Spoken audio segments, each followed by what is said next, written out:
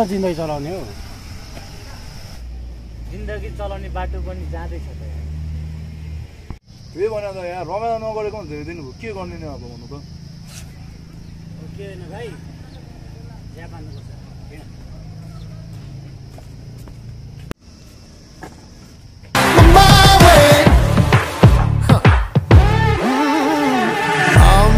do it like this. I'm gonna do it like this. Like a teacher to his kids, lesson learned, class dismissed, and do it like this.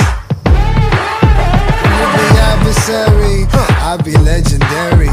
Six feet under buried in the cemetery.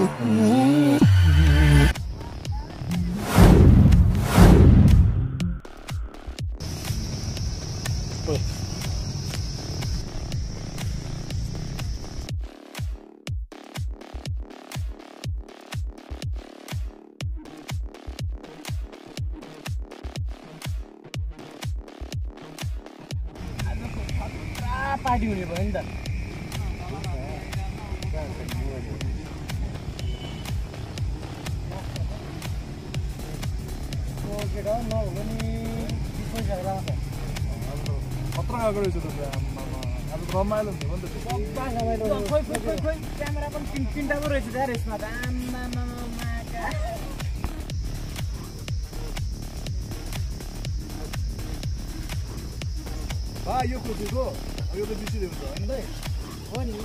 सम्झिने? अनि सम्झिने हो भाइ।